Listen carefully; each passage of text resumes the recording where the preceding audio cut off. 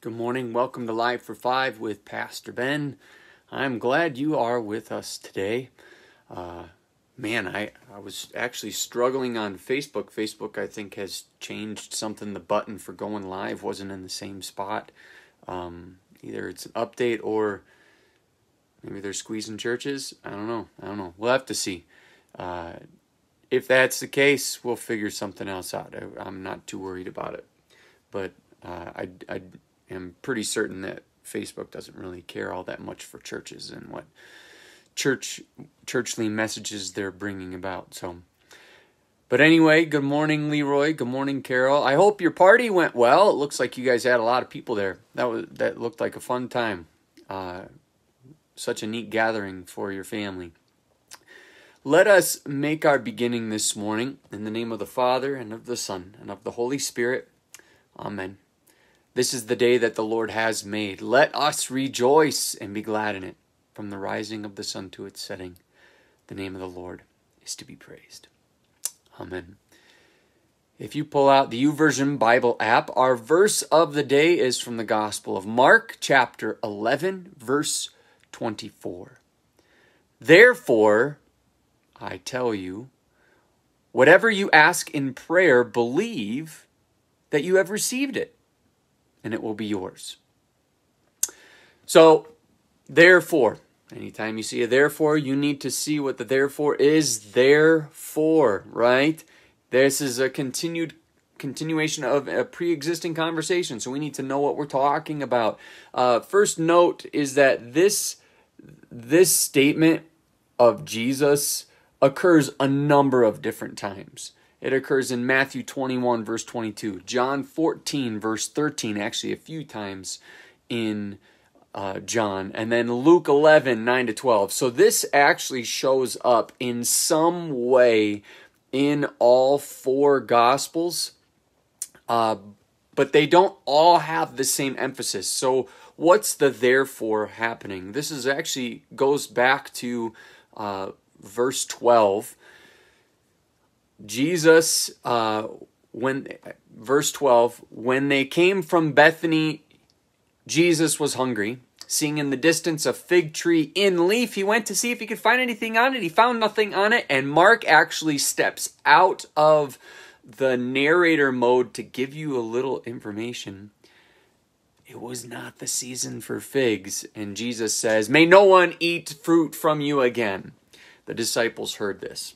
Then Jesus goes into the temple. You have the money changers. He turns over, and then you go back the next day to this fig tree. Um, this is a unique theological word for you called an intercalation. You have a story with a teeny story in the middle, and the teeny story in the middle tells you what's going to happen in the bigger story. So this is the fig tree story, and you got the the money changers in the middle. He gets really mad at them. My house shall be called a house of prayer for all nations. No, you've made it a den of robbers. Okay, so nothing's going to go well for this fig tree. That's the foreshadowing. So the next morning, they go by this fig tree and they see that it's withered down to the root. And Peter, remembering that Jesus cursed it, says, Rabbi, look, the fig tree that you curse has withered. Okay, so this is what's happening. Jesus wanted food, goes to the fig tree. It's not season for figs. He's mad anyway. In the Gospel of Mark, Jesus is a very odd character. You see his humanness. And so we have a lot of questions about Jesus in the Gospel of Mark. And so Jesus curses the tree. Peter's like, Why would you curse the tree? This is actually like not a reason for cursing the tree. It's not a season for figs. And Jesus says, have faith in God, referring to the fact that he's cursed this tree and it happened. Truly I say to you, whoever says to this mountain, be taken up and thrown into the sea, and doesn't doubt in his heart, but believes that what he says will come to pass, it will be done for him. So this is a bold prayer and conviction and believing what you're praying for, Jesus says, our verse, therefore I tell you, whatever you ask in prayer, believe that you have received it and it will be yours. But now this is interesting. If you were to go to verse 25, And whenever you stand praying, forgive if you have anything against anyone, so that your Father also who is in heaven may forgive you your trespasses. How come when we go to God in prayer, we don't get everything if we believe that we're going to receive it?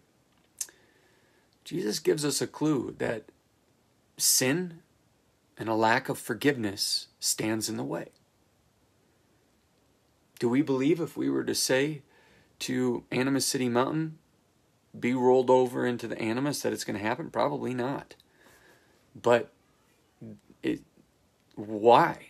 Well, why would you want that to happen, for one? But is our will aligned with God's?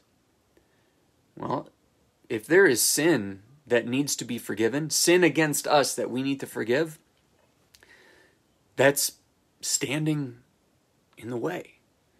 And so Jesus beckons the disciples to go on believing, continue to believe. This is what is standing in the way of, of their faith. It's what was standing in the way of the money changers' faith and those religious leaders in the temple. You don't need a temple to pray anymore, is also what Jesus is leading to. You only could pray in the temple, is what they thought. But now Jesus says, no.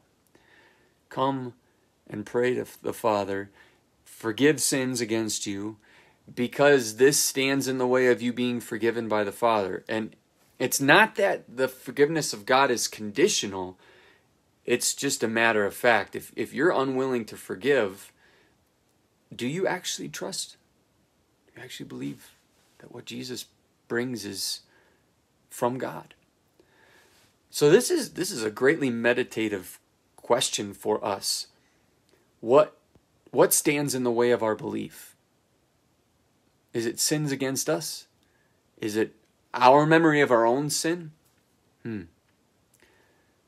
May we give those things to God in prayer, knowing He'll take them, and that we're then forgiven as well. This is our life of faith. Let us pray.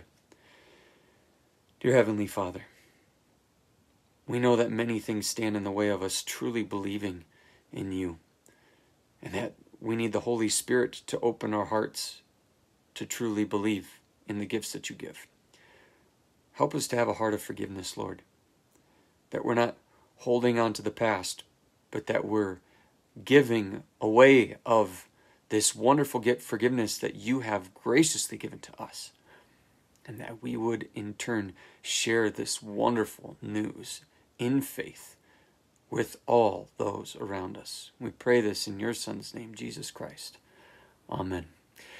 There's a lot for you to meditate on in this text. Go back to Mark 11, verse 12. Read through this whole thing. See how it flows. Consider why Jesus would curse this fig tree, but then also consider your faith and continue to believe in what Jesus is bringing. Have a blessed day in the Lord. I'm looking forward to seeing you again soon in more time with God in this interactive way. Have a blessed day in the Lord.